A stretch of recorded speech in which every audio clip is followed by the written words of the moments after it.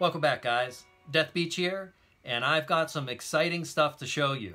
Now, these articles are from September and August, respectively, but the news is huge. We'll start here on this first one. Dapper Labs and Block Party join forces to bring a new breath of digital collectibles onto Flow. That probably sounds like nothing to you, so we're going to read on and kind of define a few things, right? Now, Block Party, the New York based rare digital collectibles marketplace that launched last month to foster more meaningful fan engagement for artists and musicians and sports teams, today announced a partnership with Dapper Labs, the company behind CryptoKitties and NBA Top Shot, who will bring Block Party onto Flow. So, Flow is the blockchain that Warner Music Group is going to be building on. A lot of other people are going to be building on, on it as well, and the NBA has quite a few projects coming out on Flow. Dapper Labs is just a company that creates digital assets, and Block Party is the platform that sells it. But let's read on to find out just how cool this really is for you. Digital collectibles offer an alternative form of engagement to the in person experience of art shows, concerts, and games and help artists and athletes incentivize long term relationships with their fans. They can also expand their creative mediums and branded assets into digital and mixed reality and create more integrated fan experiences. The collectibles also provide users with insider benefits, including access to unique rewards and giveaways such as VIP concert access or free swag. This is absolutely amazing. Now, if you wanted to create a visualizer or a unique music video, or perhaps you create an album that uh, it's a concept album that tells a story, and on each song there's different characters, you could actually create little collectible characters that these people can sell and trade, or I'm sorry, buy and trade with each other. Some of them could also offer unique access to different parts of your website or to different virtual reality shows. What? Virtual reality shows? That's right. So, Tidal, in August of this year, purchased Sensorium Corporation. Uh, I'm going to jump around here a little bit, but basically, Sensorium Corporation has created the Sensorium Galaxy, which provides users with access to an all digital alternate universe. Immersion in this multi-user environment allows users to craft their own unique virtual representations and get rich social experiences through the VR technology. This is the new stage of evolution of social networks, when users are no longer limited to one-dimensional platforms. We're talking about virtual reality shows where people are there attending as avatars of themselves, and as we're going to see, they can even bring some of the cool collectibles that you're already selling them with them to the show. Now, Chief Operating Officer at Tidal.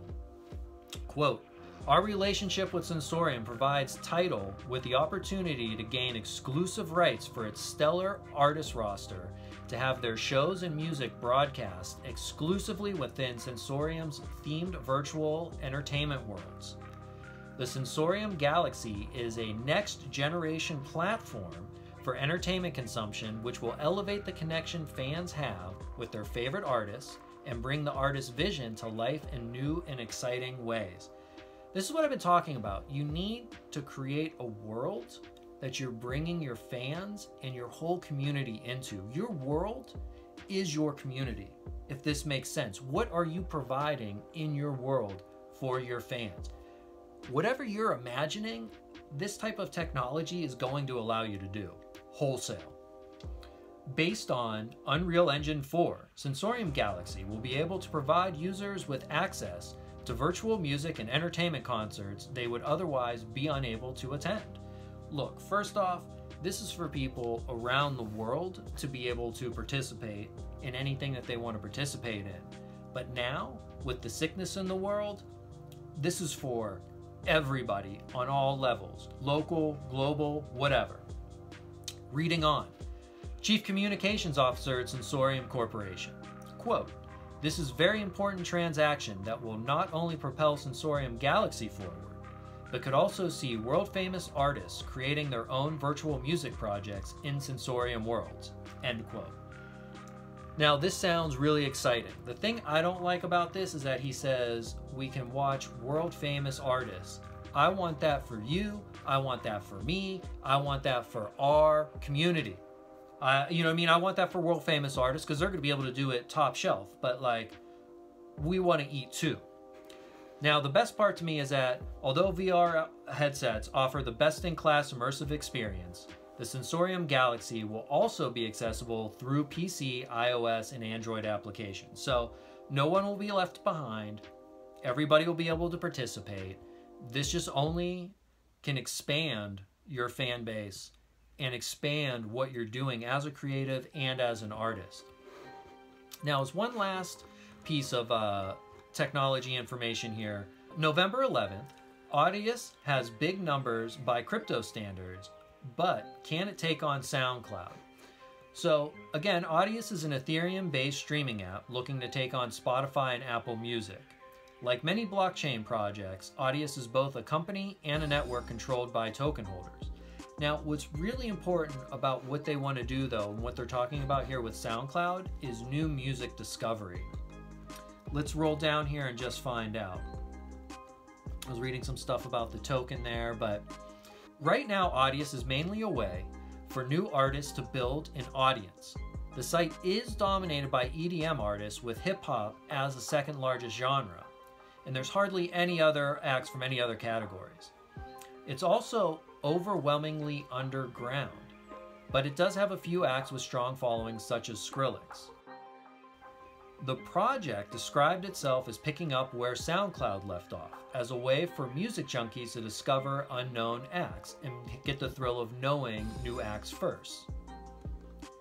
So it says here that Audius opens up a plethora of strategies for artists. They can create interesting new ways of enlisting fans and helping them to grow their brands.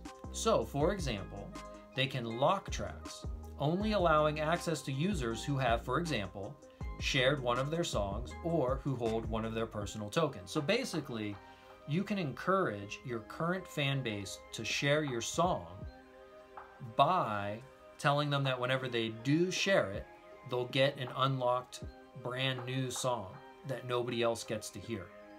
How cool is that? I would totally do that for some of my favorite artists. So Guys, this wraps up this segment of the future of the music industry with Death Beach. Uh, do me a favor, share this with people, like it, comment down on it below, ask questions. This is a rapidly expanding space. I promise you, by this time next year, some of these things are going to be happening. Let's do this together. I'm really excited about it. If you have questions, let me know. Like I said, please share this with other people who are willing to take action and I'll talk to you soon.